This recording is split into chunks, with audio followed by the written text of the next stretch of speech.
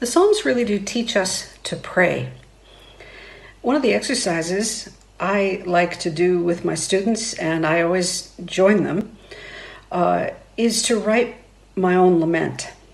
Um, laments follow a certain pattern, and so um, you can write your own prayer according to this pattern too. It's easy to remember three P's protest, petition, and praise. Um, you may not think you're much of a poet, but I'm always pleased and uh, uh, gratified when the students get started on this assignment because once they start with the protest, that's when you complain to God. Um, and it just doesn't take much to get them going. Um, and I think we should be really candid with our complaints when we lay them before God. After all, God knows what's in our heart anyway. So, what have we got to lose? We certainly can't have anything to hide. So, set things out there. Um, and you know, read a few of the laments if you if you want uh, courage. Psalm 13, for instance, begins, "How long, O Lord, will you forget me forever?"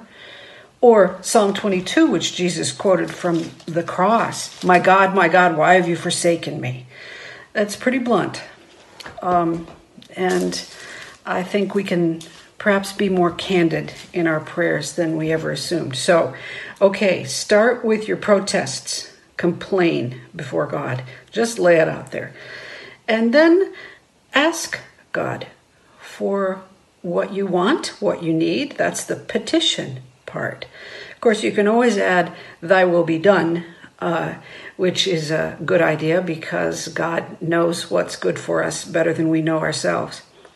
But then, even in a lament, put in a little praise, even if it's just anticipated praise. Um, uh, your your faith, your hope that God will respond to your prayers somehow in a way that only God knows what's best for us. So go ahead, write your own lament, and then put it away somewhere where you can look at it a week later, a year later, 10 years later.